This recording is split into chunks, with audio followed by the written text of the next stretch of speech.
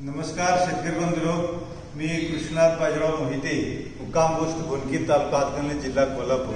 आज या ठिकाणी सोयाबीन या पिकासाठी बीज प्रक्रिया या ठिकाणी करण्यासाठी आम्ही जमलेलो आहोत. या ठिकाणी जैविक बीज प्रक्रिया यामध्ये रायझोबियम आणि स्फुरद मिळणारे जीवाणू यांची या ठिकाणी बीज प्रक्रिया करण्याचं या ठिकाणी नियोजन आहे.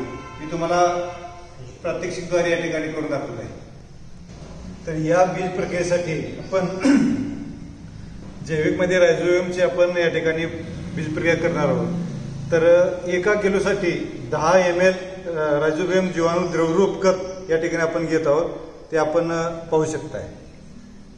ते अशा पद्धतीनं या सोयाबीनमध्ये आपण हे द्रवरूप जैविक रायझोबियम आणि द्रवरूप स्फुरद विरघणारे जीवाणू तसेच हे दहा एका किलोसाठी दहा मिली आपण घ्यायचे आहेत आणि पण बीज प्रक्रिया करायची आहे तर ही या पद्धतीनं आपण टाकून घेतल्यानंतर हे हाताला न लागता आपण हे असं थोडासा याला घोळायचं आहे जेणेकरून हे संपूर्ण एक जीव होईल आणि परत आपल्याला हे अशा पद्धतीनं चिकटल्यानंतर हे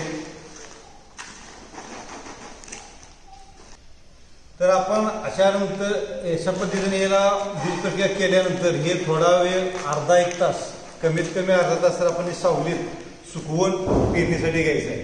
पेरणी आणि टोकन या दोन्हीसाठी आपण याचा वापर करायचा आहे. तर बीज प्रक्रिया केल्यानंतर आपल्याला होणारे फायदे असे आहेत की याची उगवण क्षमता जोरात होते. जवळजवळ निरोगीपणानं रोपं आपल्याला उगवले दिसतात. आणि याच्यामध्ये कीड बुरशी हे जे रोग येतात जमिनीतून येणारे आणि बियाण्यातून येणारे जे रोग असतात त्यांना अटकाव असतो. त्यामुळं आपल्याला शेतकऱ्याला यामध्ये हे सोयाबीनचं पीक आहे याच्यामुळे उत्पन्नामध्ये वाढ झालेली आपल्याला दिसून येते.